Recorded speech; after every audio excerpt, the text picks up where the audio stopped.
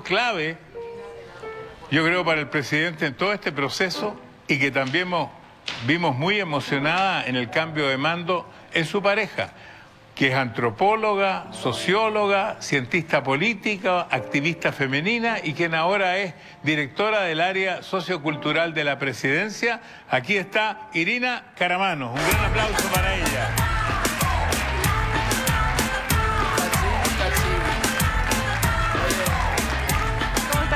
¿Cómo estás? Muy bien, Irina. Gracias. Me decía el presidente que se, se, pone todavía muy nerviosa con todo esto. Sí. Porque esto tiene que haber sido un cambio muy grande de un día a otro, tener tanta popularidad y ser tan reconocida en todas partes. ¿Cómo ha sido ese proceso primero? Bueno, muchas gracias primero que nada por la invitación. Eh, me pone muy nerviosa porque cuando uno hace algo por primera vez, yo creo que genera esas emociones, ¿no? Como de no saber muy bien cómo actuar, qué decir, las cámaras. Pero bien, estoy muy contenta y muy orgullosa por lo que estamos haciendo, así que esto es parte de... Irina, como usted sabe, eh, nosotros tratamos de mostrar el lado humano de, de, la política, cosa que es difícil. Vamos a hacer algunas preguntas políticas también. Y recuerdo que la vez pasada alcancé a recordar que él era chofo y que usted era chofi. Y que además eran dos manatíes. Pero ahora la vida de ustedes va a ser eh, diferente. Eh, van a tener muchos compromisos y van a tener... ¿Qué sintió usted, Irina, cuando a su pareja le pusieron la banda presidencial? Un profundo, profundo orgullo. Eh, veo como a través de, de Gabriel eh, muchísimas personas eh, están esperando vivir su esperanza, ¿no? Como creo que hay una responsabilidad muy grande que se siente, pero sobre todo una emoción desbordante, incomparable, la verdad, eh, en términos de orgullo de todo lo que hemos construido, un proyecto político con mucha convicción, con mucha escucha y en ese momento eh, es casi como que uno deja de respirar para ponerse a llorar, porque en realidad es, es muy inconmensurable la, la sensación. Eh, mucho orgullo. También en ese entonces, y después lo leí, ustedes tienen una relación que llaman horizontal. Uh -huh. eh, yo soy de una generación distinta. Entonces incluso le preguntaba a mis compañeros, ¿cómo les pregunto sobre el amor a una generación que es mucho más joven? Porque eh, eh, ustedes son de la generación de mis nietos, que además tengo un bisnieto, una bisnieta ahora.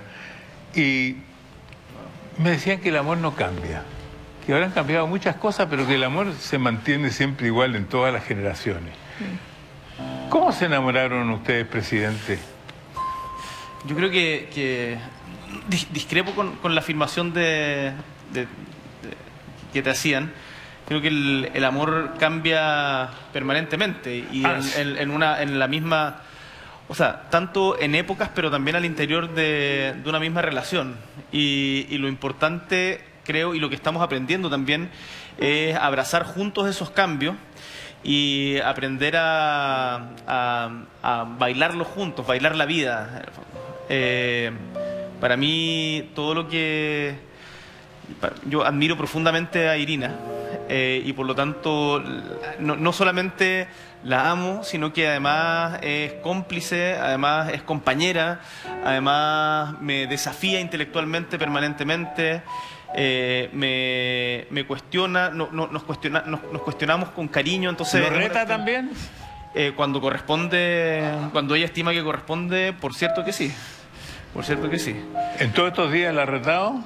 Eh, eh, cuando no tenía terminado el discurso eh, para que tenía que entregar al día siguiente. Por eso se lo olvidaron los dos presidentes. Perdónenme. No, salió hermoso el discurso. Sí, salió. El, discurso estuvo, estuvo muy bien, pero. No, le, siempre... gustó, no le gustó a Carlos Peña. Pero bueno, no, no le gusta nada a Carlos Peña. No. no, pero saludos, saludos, don Carlos. Eh, recojo, recojo la crítica inteligente que, que plantea de fondo. No, no, he leído a Carlos Peña, ah. así que no puedo opinar. En, eh, no lo he leído en este caso, así que que me disculpen. Pero eh, yo he visto. La primera mirada fue para Irina.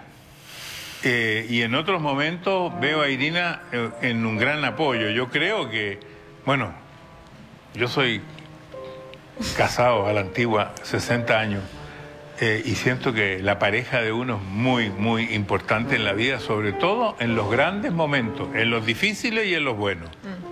¿Concuerda usted conmigo en eso, Irina? Sí, concuerdo. Además que siempre vamos actualizando lo que creemos. O sea, siempre nos volvemos a preguntar cómo es que va el rumbo que estamos tomando. Em, para mí es maravilloso compartir el proyecto político también con Gabriel, porque eso nos hace como también ser parte de la vida del, otro de una manera muy, em, muy dinámica. Muy, y además que creo que para este tipo de momentos eso es indispensable, porque es, muy particular vivir algo así como esto. Tiene, eh, perdón, ¿puedo decir algo, Francisco? Que esto, lo, lo que dice Irina, eh, para mí es muy importante porque le da un sentido a la relación en donde efectivamente hoy día eh, me, me toca ser muy protagonista, pero en la relación esas diferencias tienen que anularse y, los problemas que tiene cada uno son igual de importantes. Y además el hecho de compartir convicciones y proyectos políticos hace que haya un sentido de trascendencia y que no sea solamente el acompañarnos en uno al otro, sino de ir empujando juntos un mismo carro en conjunto con un montón de otras personas en nuestros equipos. Y eso yo creo que le da mucha más solidez también a la relación. ¿Ustedes piensan formar una familia? Yo creo que es una decisión que tomaremos eventualmente como pareja, pero, pero también es una pregunta que a nuestra edad se hace mucho, ¿no? Me imagino que muchas personas eh, podrán sentirse identificadas, sobre todo mujeres que nos preguntan eh, mucho esto, eh, pero creo que estamos embarcados en este momento en un proceso muy... que nos hace sentir también muy realizados y nos estamos proyectando en eso primeramente, ¿no? ¿Y qué es lo que usted quiere hacer ahora en el gobierno? ¿El rol suyo cuál va a ser? Yo estoy eh, aportando política y emocionalmente, yo creo, en este momento al proyecto del gobierno, a la instalación del gobierno. Eh, seguimos eh, generando procesos de, escucha para poder hacer cambios. en mi caso en particular, yo me propuse cambiar un espacio, ¿cierto? no me identifico mucho con con el rol de primera dama, pero sí con cambiar ese espacio. Eh, bueno, porque no soy ni primera ni dama, ¿no? O sea, en ese sentido eh, pienso que, mm, que, hay que salir un poco de ese término como conservador, ¿cierto? Eh, y clasista. y por eso creo que tomamos un desafío muy interesante que al que el feminismo en general quizás no, no está en esos lugares, ¿no? Entonces... Bueno, yo al principio no sabía... ¿sí? agregar algo? Que, que además eh, Irina se encargó de coordinar una actividad que fue muy importante para, para nosotros, pero fue un momento de encuentro. Usted, usted se acuerda, don Francisco, que yo prometí eh, cumplir la Constitución y las leyes por el pueblo de Chile y los pueblos de Chile. Y al día siguiente Irina organizó y con mucho, mucho trabajo una actividad en los patios de la moneda con representantes de todos los pueblos de Chile, en donde se hizo una rogatoria un rogativo, un rogativo una, rogativa. Nos aconsejaron, nos dieron fuerza.